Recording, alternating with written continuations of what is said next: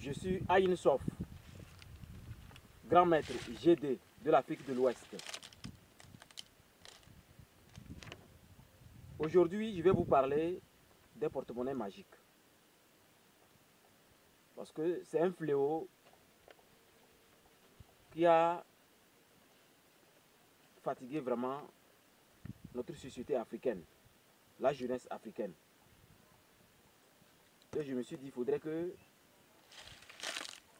le porte-monnaie magique soit présenté à la jeunesse africaine.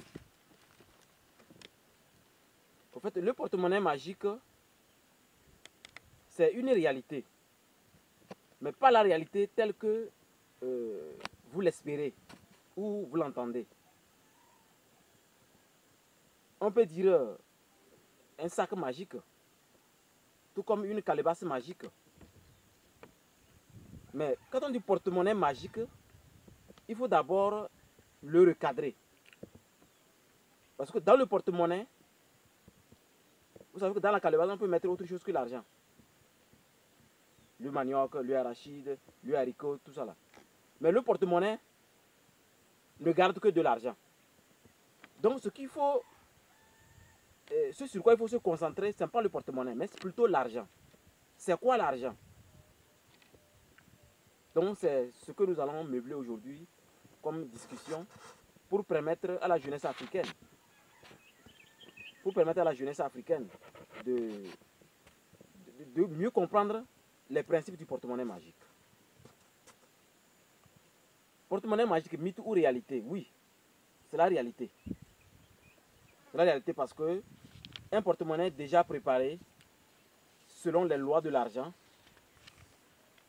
peut vous faire gagner les énergies de l'argent. Ensuite, l'argent vient. Voilà.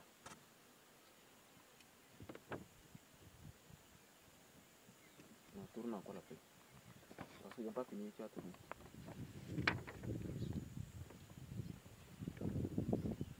Procédure de, du fonctionnement. Le porte-monnaie magique fonctionne comme euh, un transfert d'argent, comme transfert euh, euh, Xanda ou Bluetooth.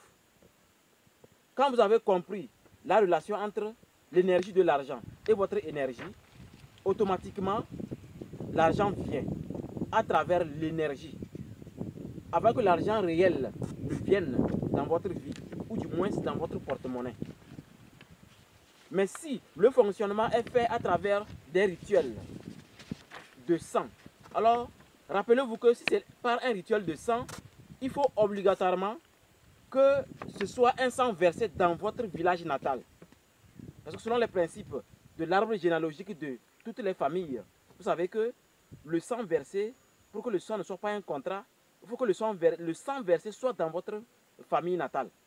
Mais si c'est chez un marabout, comme par exemple venir chez moi verser le sang, ce n'est pas bien pour vous. C'est un contrat spirituel. Et donc, vous allez voir que vous allez vivre une vie de possession. Un esprit viendra vous demander des comptes à rendre. Parce que ce n'est pas l'énergie que vous avez utilisée, mais un rituel de sang. Alors,